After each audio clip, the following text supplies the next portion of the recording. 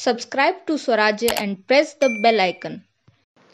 Fetching drinking water from a mosque in Pakistan's Punjab province landed a family of poor farmers from the minority Hindu community in trouble as some people tortured them and held them in hostage for violating the sanctity of their place of worship. Alam Ram Bheel, a resident of Punjab's Rahim Yar Khan city, was picking raw cotton along with his other family members.